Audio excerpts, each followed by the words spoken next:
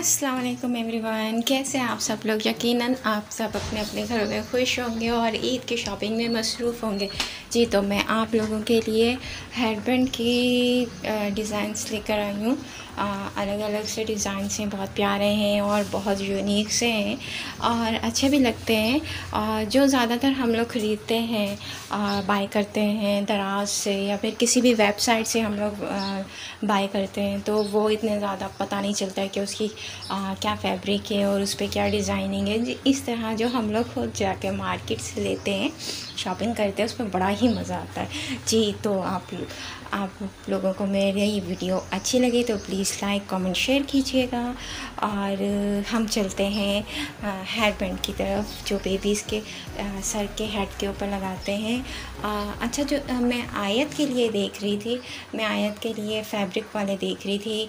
और जिस जो ज़्यादा लूज़ ना हो और जो ज़्यादा इतनी ज़्यादा जिनकी रबड़ सख्त ना हो। इस तरह के डिज़ाइंस में देख रही थी क्योंकि मैं मुझे वहाँ पे तो मुझे वहाँ पे शाप शॉपकीपर ने कहा था कि ये आपके बेबी के हेड के ऊपर नहीं आएगा पूरा तो आप इस तरह के लें जिससे उसका सामने का हेड कवर हो जाए और ज़्यादा भी ना हो उस तरह।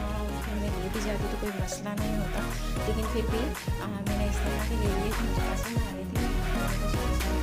दिखाती थी इतने प्यारे प्यारे डिज़ाइन थे इसके बीच में कुछ छोटे कुछ बड़े कुछ